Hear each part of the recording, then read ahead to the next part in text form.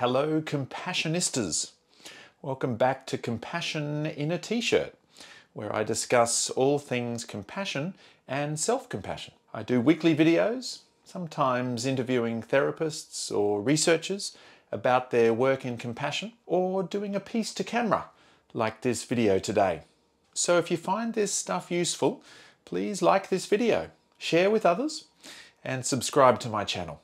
Today we're going to delve into the role emotions play in compassion and their profound impact on compassionate decision making and action. There's an intricate and delicate dance between our feelings and the choices we make. And sometimes, believe it or not, our apparent compassion can do more harm than good. But there's a lot of nuance to this, so let's get started.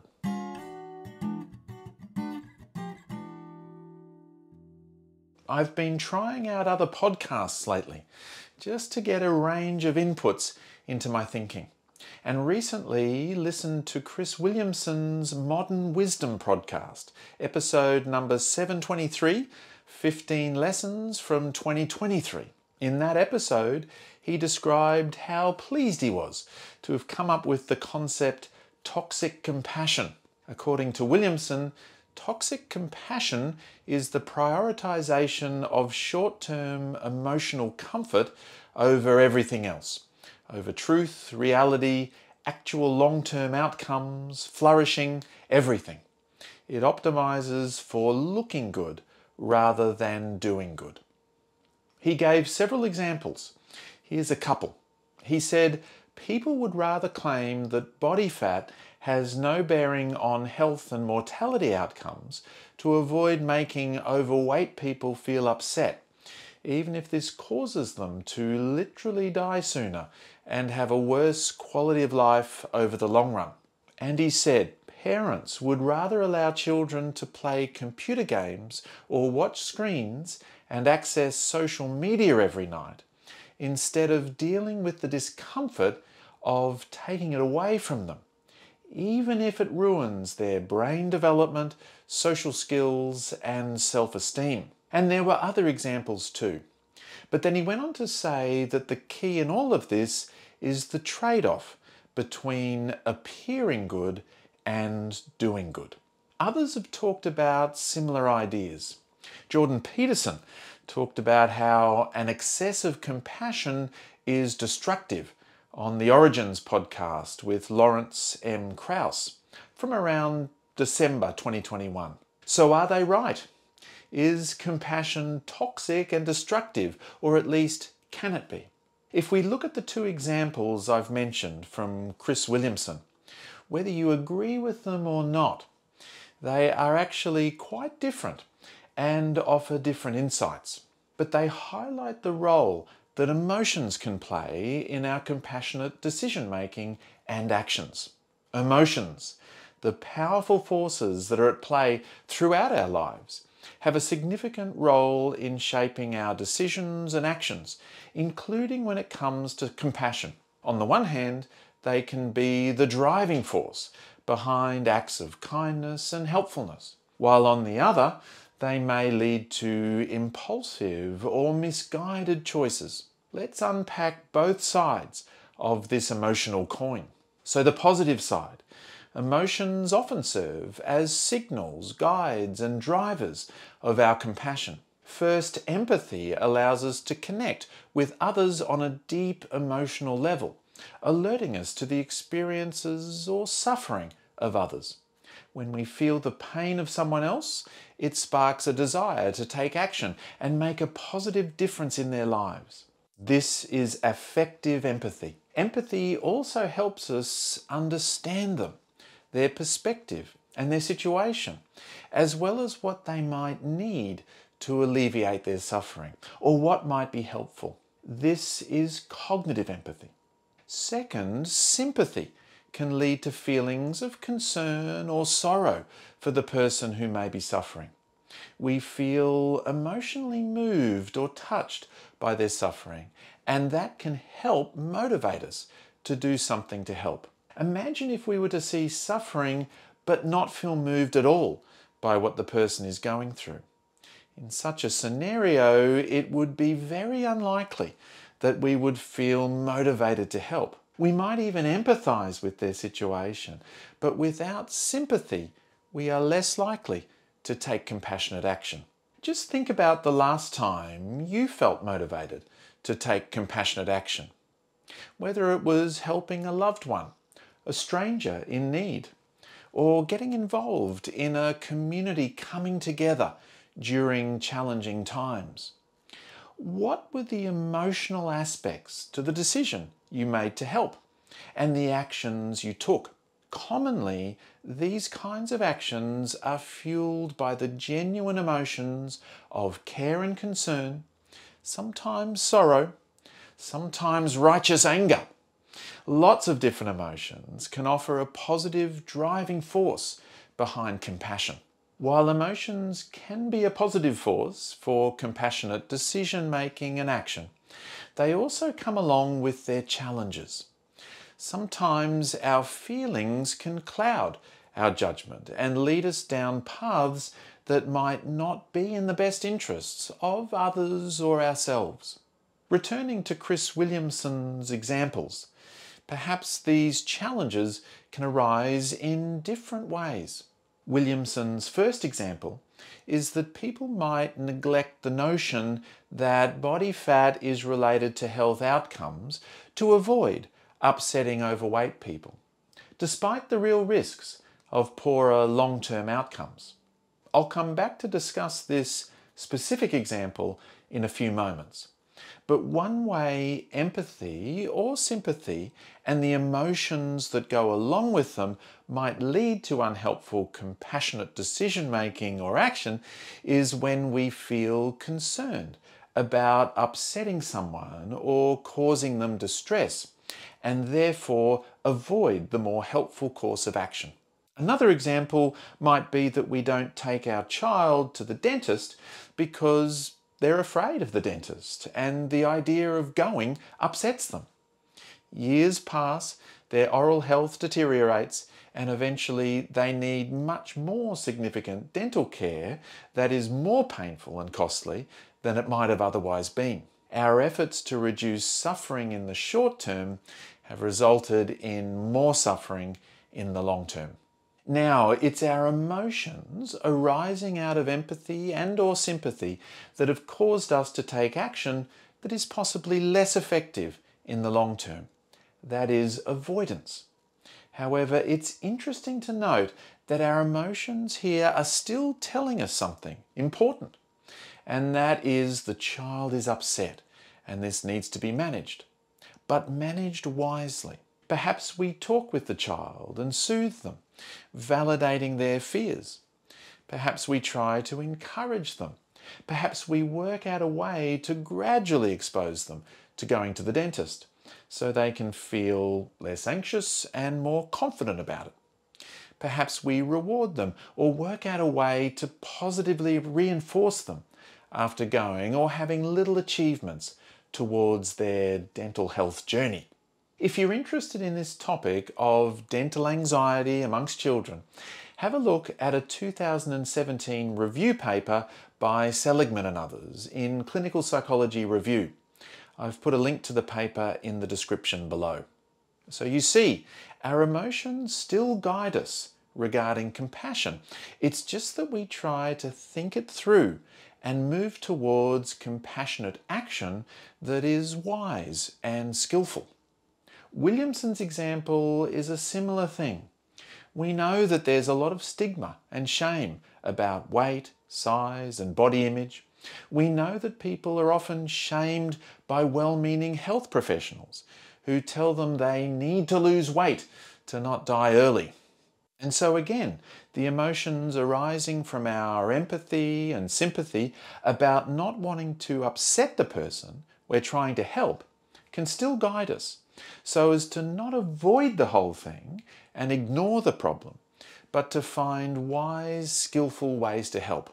For example, the Health at Every Size approach tries to do this.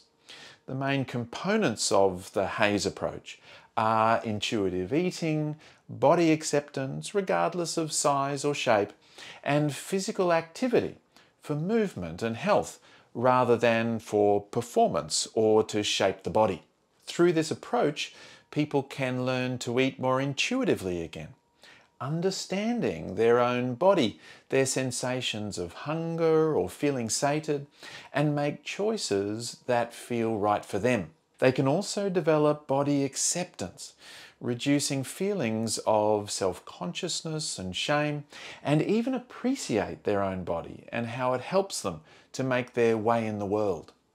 Shame can have such a negative effect on our choices across a wide range of domains, and reducing shame is very important. And finally, once a person is managing their eating intuitively and having greater acceptance and appreciation of their own body, the HAES approach would encourage physical movement, activity, and appropriate exercise that is individualized and less about competitive motivations and more about health and well-being. If you're interested in this topic, then you can find a link to a 2015 article by Penney and Kirk that offers a careful look at the empirical evidence around the HAES approach. So we can do both. We can be guided by our emotions and act wisely and skillfully to help. It sometimes takes a bit more thought and consideration, and it also takes what we might call distress tolerance. That is, our ability to manage our own distress in order to calmly identify what truly is most helpful. But we can certainly find the sweet spot between avoidance and trying to force or even shame people into change. Chris Williamson's second example, not getting kids off social media because of the discomfort it might cause us, is slightly different. Where the first example involved situations where we feel concern about upsetting the other person, the person we're trying to help. The second example is about situations where taking action to help others may cause discomfort to ourselves. There are a lot of cases where our emotions might inhibit our compassion in this kind of way.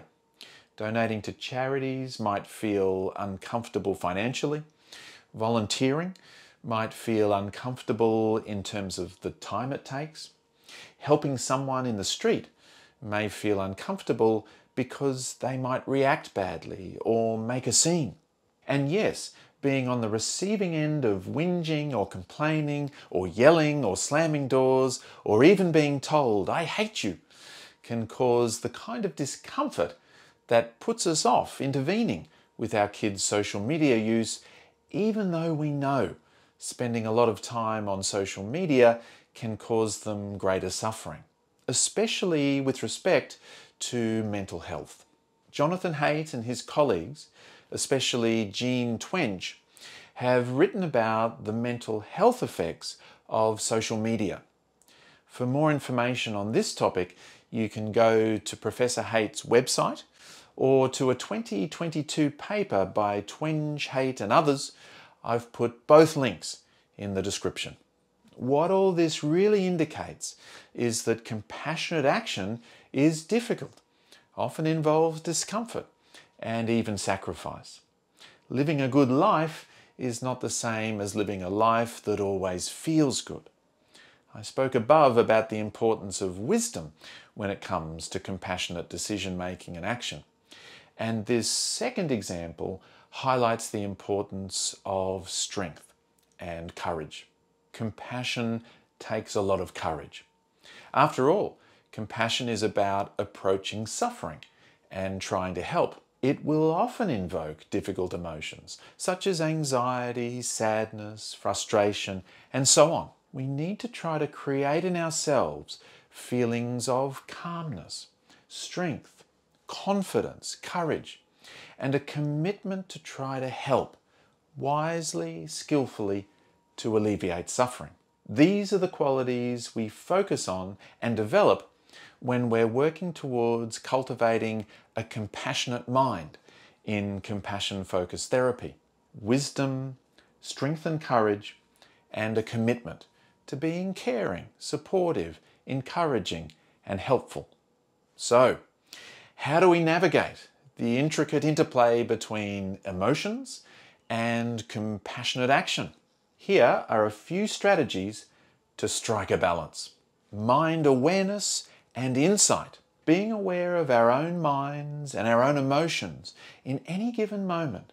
Understanding the function of these emotions and stepping out of autopilot and instead finding a way to manage the emotions and respond wisely and skillfully rather than react impulsively. Wisdom and wise action really is the key here. Fine tuning our empathy and sympathy. We want to be able to connect with competencies such as empathy and sympathy. And we want to really practice and fine tune these skills. Practicing perspective taking and distress tolerance can help us understand others' emotions and needs more effectively and manage our own difficult emotions strength and courage. Compassion takes a lot of courage. It's the first of all virtues as it guarantees all the others. That's a quote from Aristotle. It goes something like that. It's certainly true of compassion, and we can build courage by layering a foundation of strength, groundedness, stability, and calmness. All of this takes a bit of work, especially working with the body, the physical state, slowing and settling, finding solid ground. In conclusion, emotions wield a tremendous influence over our compassionate decision making and actions. When harnessed positively, they become a driving force for caring, supportive, helpful action. However, it's crucial to be mindful of the potential pitfalls and strive for a balanced approach in navigating the complex landscape of emotions. Our emotions can get in the way of compassion.